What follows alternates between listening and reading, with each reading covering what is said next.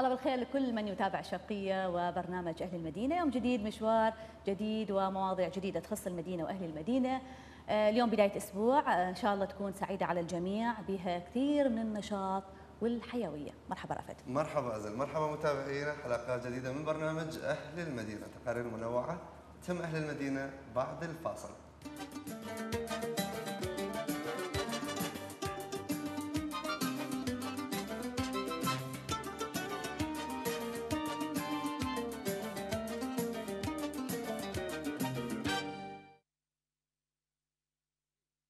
نبدي من فقرة الصور الأكثر تداولا على مواقع التواصل الاجتماعي ويانا مجموعة من الصور اللي يعني أتمنى أن نستفاد من عندها أحيانا هناك صور كثيرة بها معنى نستفاد من آه، المغزى والمعنى الموجود في الصورة. آه، نبدي من الصورة الأولى اللي هي تعتبر من النوادر. آه، صورة تعود لسنة 1967 مجموعة من طلاب جامعة بغداد كلية الآداب قسم الجغرافيا. يعني حلو التحديد وأنه عرفنا حتى القسم والكلية. آه، في حفلة تخرجهم. الصورة نشوفها بالأسود والأبيض لأنها قديمة جدا. الصورة عليها تعليقات كثيرة من قبل أهل المدينة. الكل آه، يتمنى أن يعود هذا الزمان. فعلا. آه، نشوف الجلوس بنات مع أولاد. ملابسهم زيهم الفرحة يعني نحس حتى أنه هناك تواضع نحس هناك ثقة. بين الطلاب والطالبات ونشعر بالأخوة الحقيقية بين الطلبة حاليا اختلفت أمور كثيرة منفصلين الطلاب عن الطالبات. حاليا اكو قرارات فصل المعلمين المعلم اللي هو الأب آه، والمعلمة اللي هي الأم. حاليا فصلهم عن مدارس البنين أو البنات. يعني ما أعرف العراق وممنوع دخول الدي جي في حفلات التخرج بالجامعات اللي موجودة في العراق. كل شوية أشياء تغيرت مع الأسف. خاصة بالتعليم العالي يعني. يعني مع الأسف. فالكل تمنى أن تعود هذه آه، الأجواء القديمة. طيب روح الصورة الثانية. هذه الصورة انتشرت بشكل كبير وحتى على صفحتنا بالفيسبوك آه، أيضا يعني موجودة. رجل احتفل بأول راتب له بدعوة أطفال الفقراء إلى مأدبة يعني أكل أو غداء.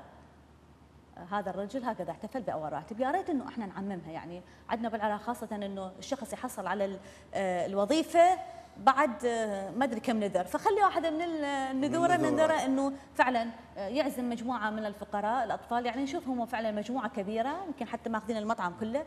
فهي طريقة إنسانية. يلا إن شاء الله الاحتفال والاحتفاء باول راتب الصورة الثالثة انتشرت بشكل كبير موضوع يخص آه، أهل المدينة ويخص صحتنا وموضوع خطر جدا ويا ريت الكل ينتبه إليه هو موضوع اللحم الهندي المنتشر بشكل كبير في كل الأسواق العراقية وفي كل المطاعم وفي كل كل المنازل حتى لكون هذا اللحم رخيص فالناس الكل باستطاعته أن يشتري من هذا اللحم، هذا اللحم آه، ب آه، يعني مسمينه اللحم اللي هو يؤدي إلى الموت البطيء. ببقايا من الكلور اللي تؤدي إلى آه، بالسنوات الجاية تؤدي إلى تنشيط الخلايا السرطانية، نتمنى من أهل المدينة الاستغناء عن موضوع اللحم الهندي. يمكن واحد يقول لعد أنا لازم آكل لحم ولأنه هو رخيص. يا ريت إنه إحنا نستعيض باللحم عن بالبروتينات بال آه، عن طريق العدس البقوليات الباقله خاصة العدس. يعني أكل الفقراء يسمونه لحم الفقراء. يا ريت إنه إحنا ناكل عدس ونستغني عن موضوع اللحم. صح. لأن هذا الموضوع يعني خطير. طيب الصورة آه الرابعة أيضا انتشرت بشكل كبير على مواقع التواصل الاجتماعي. هذه غرفة أشعة في إحدى المستشفيات الموجودة في نيويورك. آه، حتى آه، يقللون من رهبة الطفل لأن الطفل أصلا هو مريض ونفسيا متعب والأشعة هي مخيفة للكبار. هي أجواء المستشفى كلها مخيفة. شوفوا هم شلون مسوينها. حتى من يدخل يشعر براحة استرخاء وكانما مكان للعب كانما مدينة ألعاب. مدينة ألعاب فعلا. عكس المستشفيات اللي موجودة في العراق يعني تدخل داخل إلى مكان مرعب, مرعب. مظلم النفايات تشوفها موجودة حتى في الطوارئ حتى في صالات الإنعاش إنه الإهمال واضح على الجدران على الأرضية فمأساة يعني يا ريت إنه يشوفون هذه الصورة اللي هم مسؤولين عن وزارة الصحة ويطبقون ولو شيء بسيط من هاي الصورة. طيب.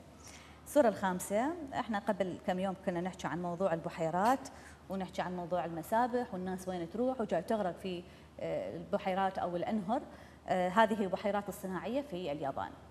اللي يشوفها يقول إنه هي بحيرة حقيقية لكن هي بحيرة صناعية في اليابان وهي قديمة جدا طبعا الصورة يعني مو موجودة هسه قديمة جدا. وأمثالها أكو في بعض ال- ال- البلدان العربية. العربية.